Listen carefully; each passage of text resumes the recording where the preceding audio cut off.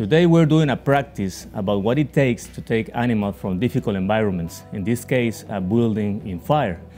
And normally the risk is not only the building itself, but also the animals which can be a danger for us. They can bite us, one of them has a fractured leg, another one was not breathing, so we are running against time.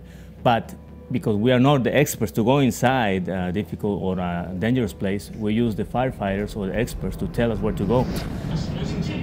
Listen to me the stairs is not safe anymore. Okay. Too much of the wood is burned away.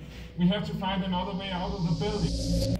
Just like small children, pets are going to be scared and try to hide from us.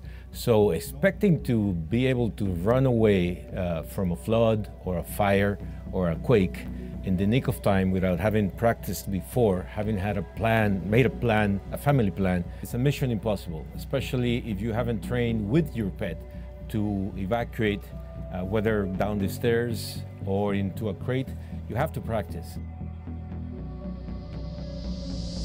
Often we cannot get to medical help in time, so it may be useful for pet owners to begin to learn how to do CPR because they are their, the first responders often for their pets and it's good to know how to rescue your pet because if it's inhaled a lot of uh, poisonous gases, uh, it's a matter of seconds.